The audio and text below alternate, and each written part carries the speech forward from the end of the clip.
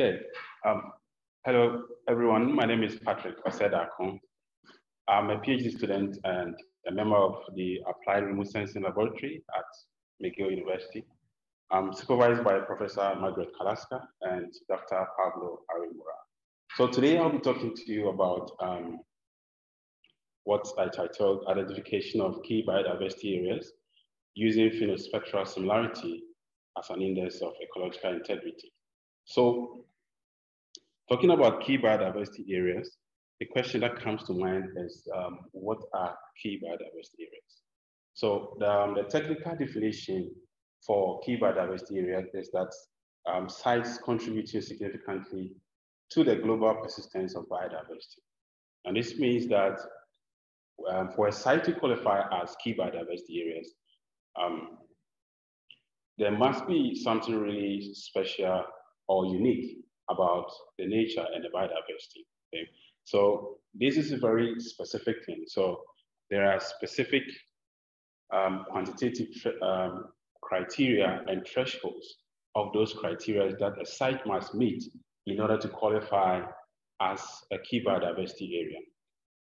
So um, these criteria, these set of criteria can be grouped under five main um, broad headings, which has to do with um, criteria A, which talks about threatened biodiversity, and criteria B, which looks at um, geographically um, restricted biodiversity, criteria C, which also looks at um, ecological integrity and biological processes, as well as irreplaceability.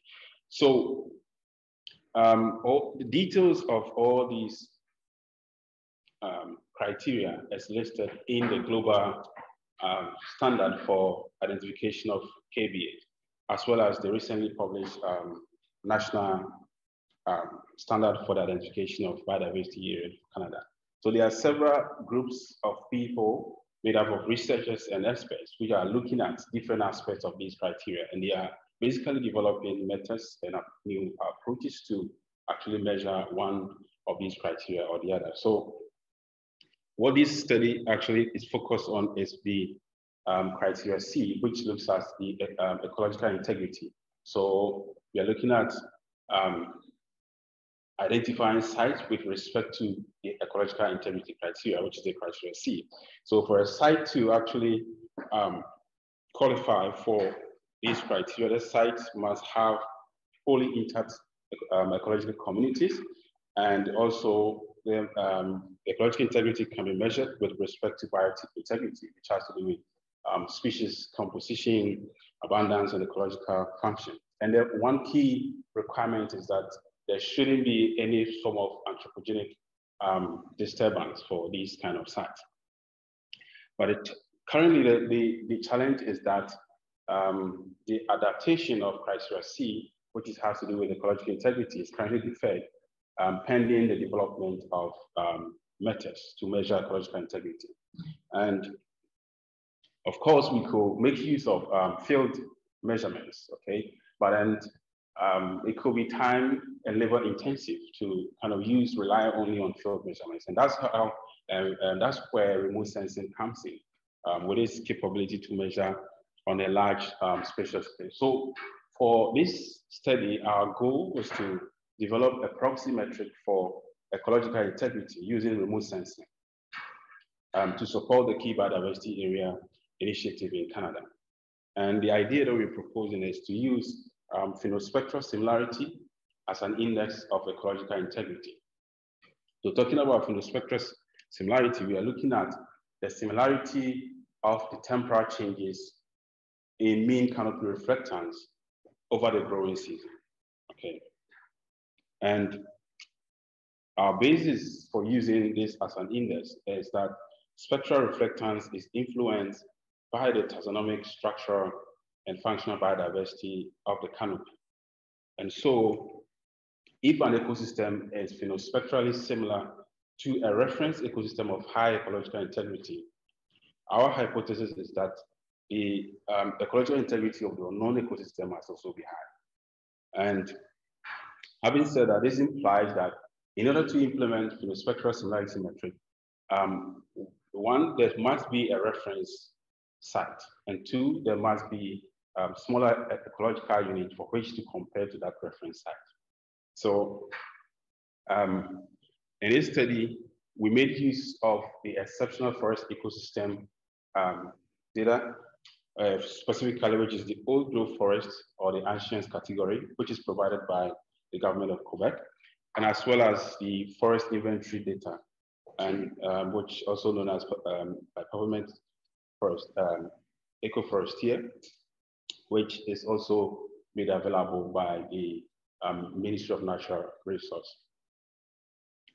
So our first objective here is to examine the utility of you know, spectral similarity of unknown ecological unit, which is the um, the forest stands we're looking at, to a reference forest of high ecological integrity, to help us segregate potential sites of um, high ecological integrity. And starting off at, at this point, we, we started from a small spatial scale with this analysis at a small spatial scale.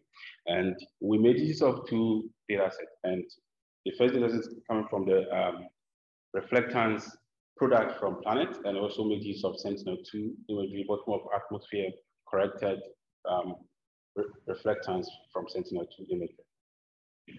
And as I mentioned, our first site at a small spatial scale, we are looking at Mount. Bruno area. So the area that we chose to study this analysis was around 25 square kilometers. And it has the um, forest inventory data covering that site, about um, 158 polygons co covering that site. So the summary of the whole approach is, for example, with regards to Sentinel, we process it up to bottom of atmosphere reflectance, and we have to, and also we take the um, the target polygons from the forest inventory data and also the um, reference polygon from the exceptional forest ecosystem, which is the old growth forest. Then we extract the mean reflectance for those polygons. Then we calculate the spectral angles to see how similar it is to the reference. And we do this repeatedly for um, the growing season, throughout the growing season from June, July, August to September. So for um, like selected dates. And our, our objective two also seeks to scale up the approach to test how scalable the approach is. And they, and we what we what we aim to achieve here is to use a network of reference sites to create a spatially representative reference distribution against which to compare and aggregate um, potential high ecological integrity forest stands over a large spatial extent. And we made use of the same data set and, and um, for this particular analysis that we use for the spatial, uh, for the small spatial extent. So the study area B, which has to do with the large spatial scale, was conducted at Laurentian region in, in, in Quebec. This is about 12,000 square kilometers and has over 200,000 of these polygons available in this site. So we start off by first aggregating spatially, um, we're conducting spatial aggregation of the smaller ecological units based on its proximity to a, um, a reference site. So we, for, for, for this particular site, we had 14 reference sites within this site. And we split them into two, and we use seven as a reference site and seven also for um, as a way of validating what the approach gets. And as you can see on this map, the, uh, the point, the red point is actually showing the centroid of the reference polygons, and the dark point are also showing the, the, the point for uh, the site that we use for the validation.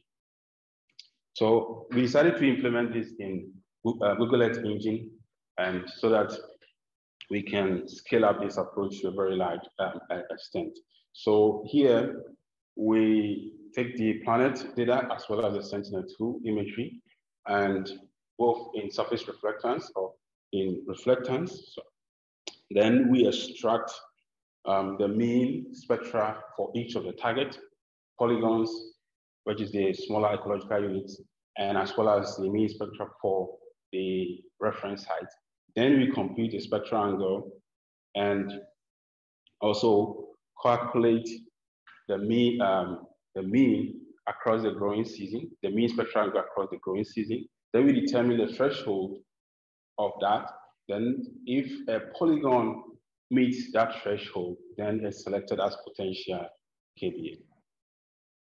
And to calculate the threshold, we adopted um, an approach that was presented in a recently published paper, which talks about um, a real value area factor technique, and which essentially select um, the intersection of these um, the, the, the, segment as the threshold to use for delineating the, the potential KBAs. So some of results. So you see this, this is at a small spatial scale. This is for the like the planet data set. So each color you see represent specific range of spectral angles. So the smaller the spectral angle, the more it is you know, spectrally similar it is to um, the reference site. So this map is showing the mean or the average across the growing season and the various, um, what's it called, the spectral angle. So if you, as you can see, the next one is also for the um, Sentinel data set.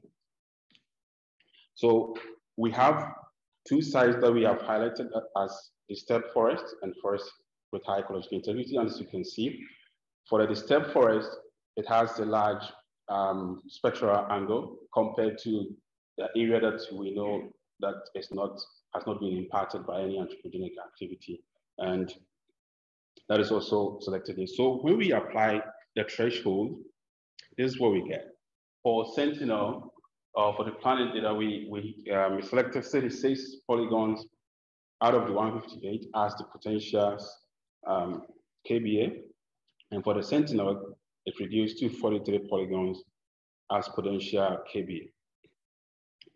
And as you can see, the areas that we selected as the step forest and and um, forest with high they were actually picked as part of the, um, the potential sites. And let's, if we look at the, the, um, the results for the ecoregion scale, or the large spatial scale, um, this is for the planet and the same spectral angle classification. So if you can see um, that's the mean for across the growing seas, the mean spectral angle across the growing seas. This is showing the variation in the spectral angles. And the same is for also for Sentinel-2. So then when we apply the threshold to this, then we have these sort of maps. So as you can see, the potential KBA is um, for the planet data is selected um, over 4,000 kilometers square out of the 12,000 kilometers square as potential um, KBAs. And for the Sentinel, it's reduced to 3,000, um, around 10,700 as um, potential KBAs, which consists about 31% of the entire um, site.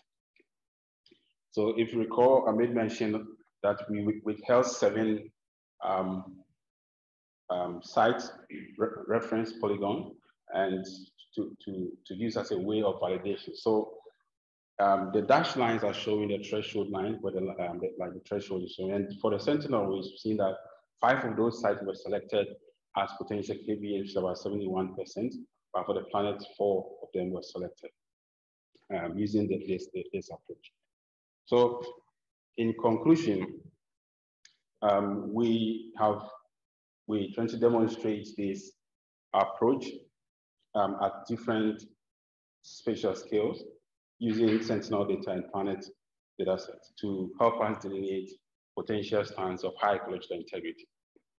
And we think that this approach, the phenospectral similarity metric, can be associated with um, species composition, structural and functional biodiversity, so of the forest canopy to help us delineate the stand level um, potential KBAs of a large spatial scale. So this approach is a very important um, first step to narrow down important uh, biodiversity areas at broader geographic scales and using Earth observation satellite data. And we think that due to the scalable nature of our approach, it will be it will contribute to KB identification at multiple spatial scale. For example, as this is the target is from national to the global scale, believe um, if we're able to um, implement this within for this large scale, it should be able to scale it to a very um, um scale at, at like the national scale. So I'd like to take this opportunity to um, acknowledge and thank um, Professor Etienne and my supervisors, as well as the Professor Andrew Gonzalez and his postdoc for their contribution in this, in this particular project. Thank you very much. Thanks, Patrick.